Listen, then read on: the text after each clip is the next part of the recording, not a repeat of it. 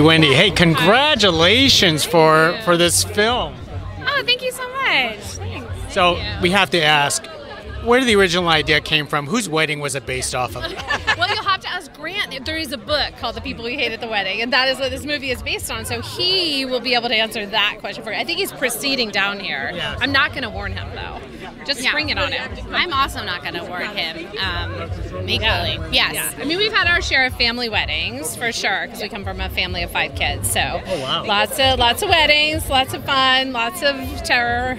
You know, the usual. Yeah. So, so you so it's safe to say you did actual research.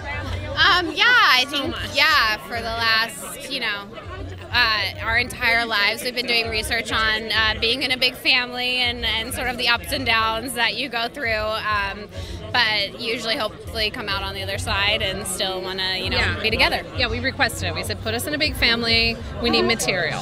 You know, and here we are. So in in adapting a book like this, was it easy because it's comedy and kind of family friendly?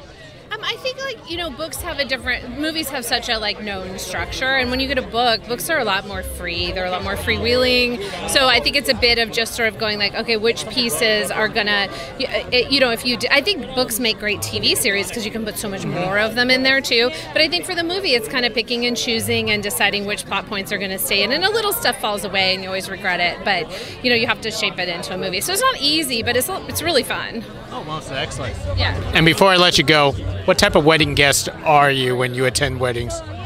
Oh, what type of wedding guest? Um, I mean, I love to eat, love to drink, love to dance. I guess I'm pretty good one. I'm like, you need me, otherwise no one's getting out on the floor. Yeah. You've seen it. You gotta send me home in a car, but like, it was worth it. Worth the price of admission. Yeah, I guess I'm more quiet, but at the end of the night, I steal wallets.